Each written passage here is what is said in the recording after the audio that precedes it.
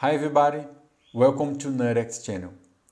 I received some questions asking about how to create a device drivers and how to do the board initialization to use this driver and how to create a real-time application on NuttX.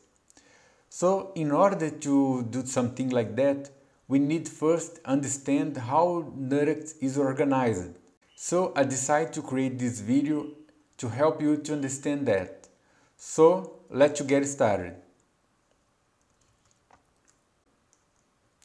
This image shows the NuttX driver organization. First, we have the microcontroller or microprocessor and its peripheral. On top of that, we have the lower half drivers. These are the drivers specific for each microcontroller or microprocessor. For example, the STM32 SPI driver, the STM32I2C, and CAN bus and so on. On top of the lower half, we have the upper half drivers. These are generic drivers.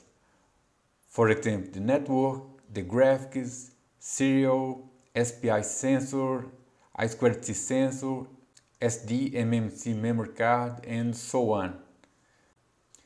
During the board initialization process, NuttX initialized the microcontroller specific peripheral drivers and associate it to generic upper half drivers. And then the generic drive creates a device file in the virtual file system. And then the NuttX application will open this driver and will interact with the peripheral or the device. Now that you know how the NuttX driver is organized, I will show where you can find these drivers.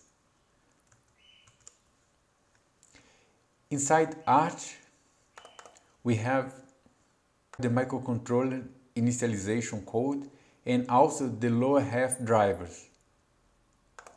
For example, inside Arch ARM, SRC, STM32, we have all the lower half driver to STM32 peripheral drive, peripherals device.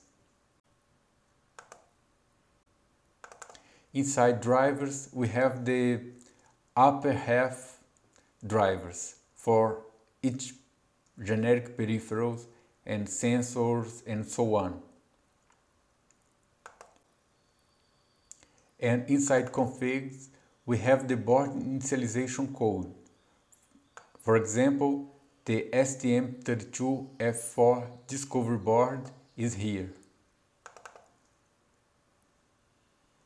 And inside the SRC, we have the board initialization used to associate the lower half to the upper half drivers.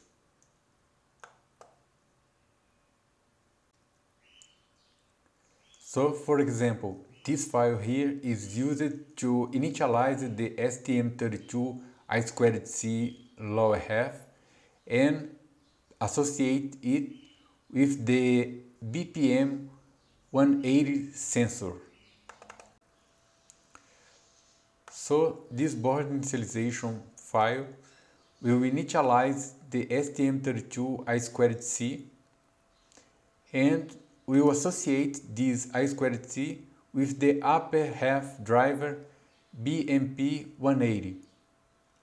So basically that is it. I hope you had enjoyed this video.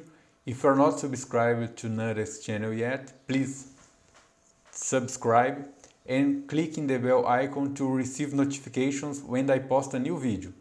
See you, bye bye.